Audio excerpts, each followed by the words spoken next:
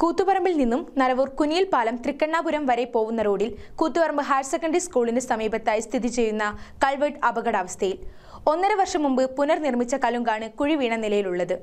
Koothuparamba government higher secondary സ്കൂളിന്റെ കളിസ്ഥലത്തിന് പിറകിലുള്ള റോഡിലാണ് ഈ കലുങ്ക്. കുനിയിൽപാലം ഭാഗത്തേക്ക് പോകുമ്പോൾ റോഡിന് വലതുഭാഗത്ത് കലുങ്കിന്റെ ഭിത്തിയോട് ചേർന്നാണ് കുഴി രൂപപ്പെട്ടിരിക്കുന്നത്. ഒന്നര വർഷം മുമ്പ് പുനർനിർമ്മിച്ച കലുങ്ക് പൊട്ടിപ്പൊളിഞ്ഞ് ചെറുവാഹനങ്ങൾ പോലും കടന്നുപോവാൻ ബുദ്ധിമുട്ടുകയാണിവിടെ ഈ കൽവെട്ട് ഒരു സൈഡ് കംപ്ലീറ്റ് അമർന്ന് ഒരു വണ്ടി പോകാൻ പോലും സാധിക്കില്ല. അതേസമയം ഇത് ഇങ്ങേ സൈ അതിന്റെ ഇങ്ങേ സൈഡും അമർന്നു കൊണ്ടിരിക്കുകയാണ്.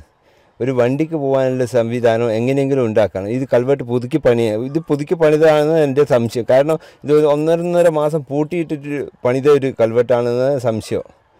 അത് ഈ കൽവെട്ട് പണിത് കഴിഞ്ഞിട്ട് ഒന്നര ഒന്നര കൊല്ലം ആയിട്ടില്ല. അതിനു മുമ്പ് ഇങ്ങനെ സംഭവിക്കുകയാണെങ്കിൽ എന്തായിരിക്കും സ്ഥിതി? വാഹനങ്ങൾ അപകടത്തിൽപ്പെടാതിരിക്കാൻ നാട്ടുകാർ കുഴിയിൽ ഓല കുത്തി നിർത്തിയിരിക്കുകയാണ്. മറുവശത്തും കുഴി രൂപപ്പെട്ടു വരുന്നുണ്ട്. വലിയ വാഹനങ്ങൾക്ക് കടന്നുപോകാൻ സാധിക്കാത്ത വിധം റോഡ് പൊട്ടിപ്പൊളിഞ്ഞിരിക്കുന്നു.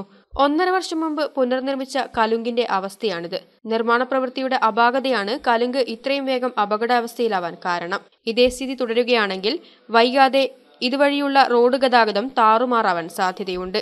അധികൃതർ എത്രയും പെട്ടെന്ന് നടപടിയെടുക്കുമെന്ന പ്രതീക്ഷയിലാണ് നാട്ടുകാർ. News bureau Koothuparamba